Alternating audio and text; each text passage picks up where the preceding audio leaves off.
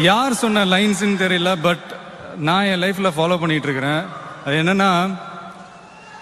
உசுப்பேத்திரம் கிட்ட உம்முன்னும் கடுப்பேத்திரம் கிட்ட கம்முன்னு இருந்தா வாழ்க்கை ஜம்முன்னு இருக்கணும்